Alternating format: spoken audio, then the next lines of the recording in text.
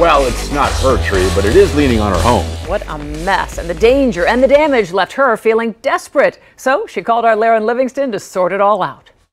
It's stressing the daylights out of us. While simultaneously providing a lot of shade from that daylight, Sandra Pawloski lives in Holiday Mobile Estates in Pembroke Park. How long have you been here? In this trailer, 12 years. Driving through, the place is like a forest. Sandra says when she and her husband bought their mobile home, the towering oak tree outside was already there. What was the tree like 12 years ago? It was standing straight up. But over the years, the tree started leaning and leaning and leaning.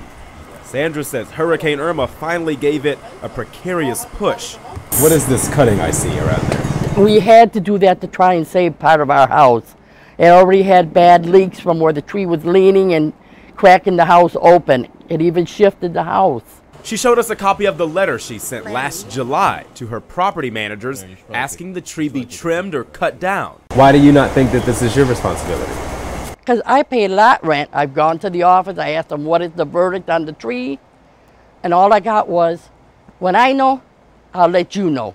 After the hurricane, inspectors with the city and the county came out. But the county says this one needs to go. Yes.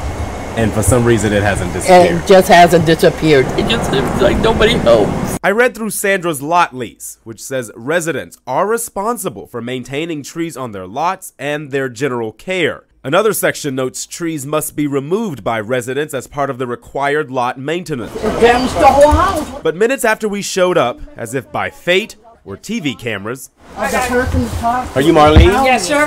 Layron, Channel Okay. 10. Nice to see you. Please up here. You don't have my authority.